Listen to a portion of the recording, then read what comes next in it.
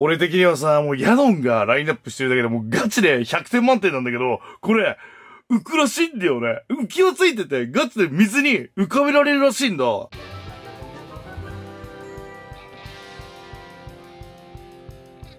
どういうガチャかというとね、まずはラインナップの紙を、訂正あるよな。あっただ、訂正ね。なんでこれフィルム型なんだろうね。フィルム型、こういうちっちゃいガチャでフィルム型って珍しくない？で、どういうガチャかというと、浮き輪がねついてんの、さっき言ったように。で、リアルに浮かべられるらしいんだよね、ポケットモンスターを。ぷかぷか浮き輪コレクション。見て、これ、最高だろ、これ、ばっか野郎、これ、お前。水、ほら、水にぷかぷか浮かべて遊べるヤドンということで、ちょっと白黒で分かりにくいんだけど、ヤドンがいんの。激安でしょ？で、今開けた、あ、こだけるるってこだけ、なんで浮くんだろうね、これね。あ、中に水が、あ、入らないように、あれだ、防水加工っていうか、空気を、は閉じ込めてんだわ。で、これで浮くんだ。これで、この浮き輪が浮くわけですな。で、この浮き輪をまずは合体どういう風につけるんだ、これ。こういう感じが。向きある、これ。向きとか決まってんのかな？ちょ、ちょ待ってね。向きとか決まってそうな雰囲気を醸し出しているんじゃないか。大丈夫だな。このまま行っちゃって大丈夫。で、これが浮くんだな。だすごい軽いもん。で、この上にコダッキ。いや、かわいいね。コダッキーがね、ちょこん。おお めっちゃかい。すごい重そうに見えるけど、マジよ。これは、うわ、軽いわ。すごい軽い。でこの浮き輪で、これ多分沈むと思う。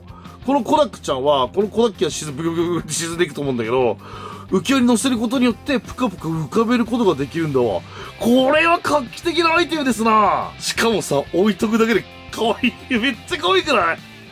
コダッキーセッティング、めっちゃ可愛い。で、あとね、他のメンツもね、ちょっと、あの、まずこれ、多分ね、ナイ、あ、ナイトルでしょ？まずはナイトルがいまして、いやー、ヤドンが一番ナンバーワンなんだけどさ、他のメンツも可愛いの多くて最高なんだ。まずはナイ、ナイトルの浮世の色いいね、これ。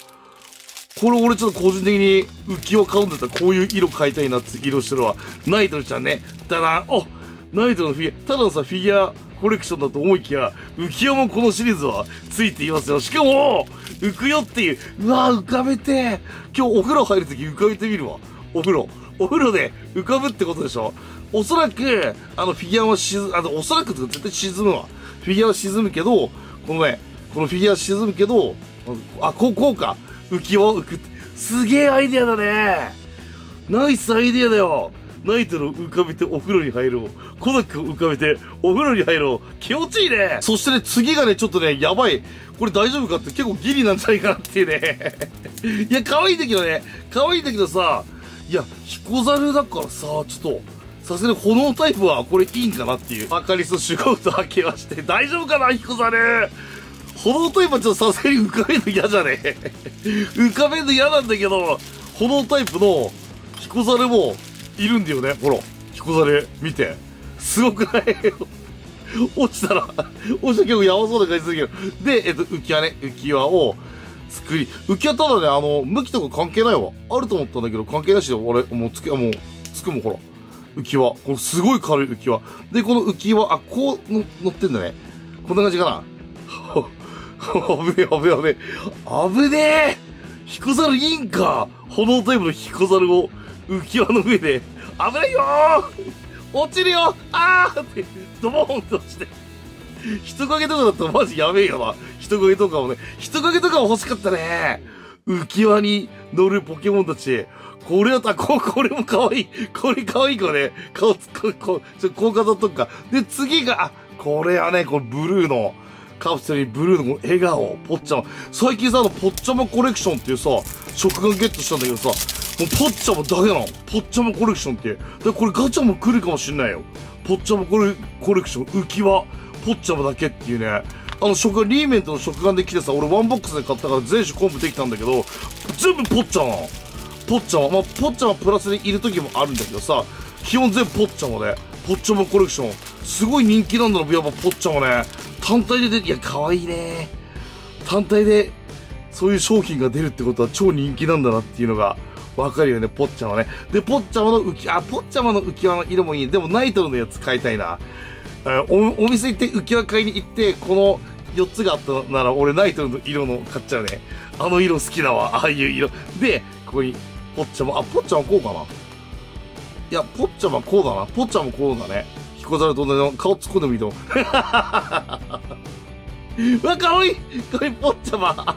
これもいいかもね、ポッチャマ。これ面白いな。ポポッチャマと彦猿。で、次が、もう俺これが欲しいから買ったって言ってもいいからもうナンバーワン。ナンバーワン。いや、マジこれ水に浮くのかすごいなぷかぷかこう浮かべて水槽に浮かべてこうかな。ね、金魚水槽。でもなんか、流れ出した成分とかね、成分とか流れ出して生態に影響ありそうだけど、それやめた方がいい、いいね。それやめた方がいいな。なんか変なエキス出てきそうな。なんかさ、俺さ、プラモデルのさ、例えばティラノサウルスの骨格とかをさ、水槽に沈めて苔だらけにしてさ、魚飼ったらかっこいいんじゃないかなと思ってたけどさ、プラスチックからなんか出てきたりするかな？ちょっと、ちょっとわ、わかんない。水槽、あの、水にね、沈めるようだったら大丈夫だと思うんだけど、プラスチックス、プラモデルとかだったらダメなような気がしてね、怖くてできないんだよね。でも、ティラノサウルスみたいなさ、ね、古代の水槽みたいな感じしたらめっちゃいいと思わない？ティラノサウルスがこきむして、その骨の中を魚がこう泳ぐって、最高だよね。でもなんかね、そうすると、ティラノサウルスから出てきそうで、これがね、ちょっと話飛んだけど、ナンバーワンの宿ですよ。浮き輪の色と合ってるでしょ？これ開けたくねえな、マジで。おえ？